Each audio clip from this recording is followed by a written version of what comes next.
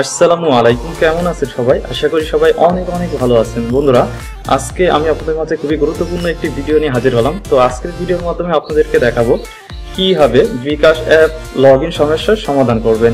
তো চলুন বন্ধুরা দেরি না করে শুরু করছি আজকের ভিডিও যারা এখনও পর্যন্ত আমার চ্যানেলটা সাবস্ক্রাইব করেন নাই তারা এই বাটনে ক্লিক করে সাবস্ক্রাইব করে নিন এবং পাশে থাকা বেল আইকনে একটা ক্লিক করে দিবেন আমার আপডেট ভিডিওগুলি পাওয়ার জন্য। তো বন্ধুরা চলে আসলাম আমরা আমাদের মোবাইল স্ক্রিনে তো যাদের বিকাশ অ্যাপে অ্যাকাউন্ট লগ ইন করতে প্রবলেম হচ্ছে বা ই কোড দেখাচ্ছে তো তাদের জন্য আজকের ভিডিওটি তো বন্ধুরা, বিকাশ অ্যাপে নিজের অ্যাকাউন্টটা লগ ইন না হওয়ার জন্য প্রধানত দুইটি কারণ রয়েছে। তো প্রথম কারণটি হচ্ছে, আমাদের অ্যাকাউন্টটা চেক করার জন্য আমরা বিভিন্ন সময় বিভিন্ন মোবাইলে আমাদের অ্যাকাউন্টটা লগ ইন করে ফেলি। তো বন্ধুরা, দ্বিতীয় কারণটি হচ্ছে অ্যাপস প্রবলেম। তো যারা এখনও পর্যন্ত পুরাতন অ্যাপসটি ব্যবহার করেন এখনও বিকাশ নিউ অ্যাপসটি ডাউনলোড করেননি, তারা এখনই আমার ভিডিও ডিসক্রিপশন বক্স থেকে বিকাশ নিউ অ্যাপসটি ডাউনলোড করে নিন। তো বন্ধুরা, আপনাদের অ্যাপসটি যদি নিউ বিকাশ অ্যাপে হয়, তাহলে আপনারা একটা কাজ করবেন, এটা থেকে আপনারা চলে যাবেন অ্যাপ ইনফো। তো অ্যাপ ইনফোয় আসার পরে দেখবেন যে এখানে স্টোর নামে একটা অপশন আছে, তো জাস্ট এখানে ক্লিক করে দিবেন। তো ক্লিক করে দেওয়ার পরে দেখতে পাচ্ছেন বন্ধুরা ক্লিয়ার ডাটা জাস্ট এখানে একটা ক্লিক করে দিবেন। ক্লিক করার পরে দেখতে পাচ্ছেন ওকে বাটন ওকে বাটনের উপরে একটা প্রেস করে দিবেন।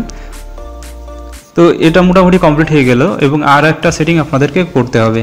তো বন্ধুরা, এবার চলে যাবেন আপনাদের ফোনের সেটিংয়ে তো সেটিংয়ে আসার পরে দেখতে পারবেন যে মোর নামের একটা বাটন রয়েছে জাস্ট এখানে একটা ক্লিক করে দিবেন। তো ক্লিক করার পরে দেখতে পাচ্ছেন বন্ধুরা ভিপিএন নামে একটা অপশন রয়েছে জাস্ট এটার পরে একটা ক্লিক করবেন। তো ক্লিক করার পরে দেখতে পাচ্ছেন বন্ধুরা প্লাস নামের একটা অপশন রয়েছে জাস্ট এটার পরে একটা ট্যাপ করবেন এবং ট্যাপ করার পরে বন্ধুরা এখানে লিখবেন বাংলাদেশ। তো বন্ধুরা দেখতে পাচ্ছেন যে এখানে আমি দিয়েছি বাংলাদেশ এবং এখানে একটা আইপি অ্যাড্রেস দিয়েছি। তো এই আইপি অ্যাড্রেসটা আমি আমার ভিডিও ডিসক্রিপশন বক্সে দিয়ে রাখব। ওখান থেকে আপনারা কালেক্ট করে আপনারা একইভাবে সেট করে নেবেন। তারপরে দেখতে পাচ্ছেন সেভ নামের একটা বাটন রয়েছে, জাস্ট এখানে একটা ক্লিক করবেন।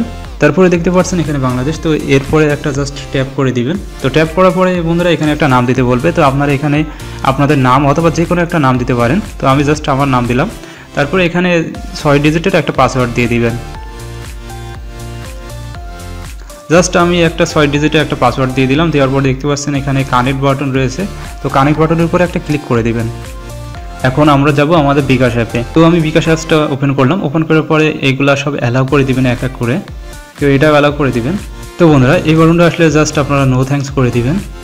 তো বন্ধুরা, এখন আমরা এই যে লগ এবং রেজিস্টারের উপরে একবার ক্লিক করব। তো ক্লিক করলাম। ক্লিক করার পরে লগ বাটনে জাস্ট ট্যাপ করব। তো ট্যাপ করার পরে বন্ধুরা, এখানে আমাদের ইন্টার বিকাশ অ্যাকাউন্ট নাম্বারটা আমি দেব। বিকাশ নাম্বারটা দেওয়া হয়ে গেলে দেখতে পাচ্ছেন এখানে টিক বাটন, জাস্ট এখানে একটা ক্লিক করব।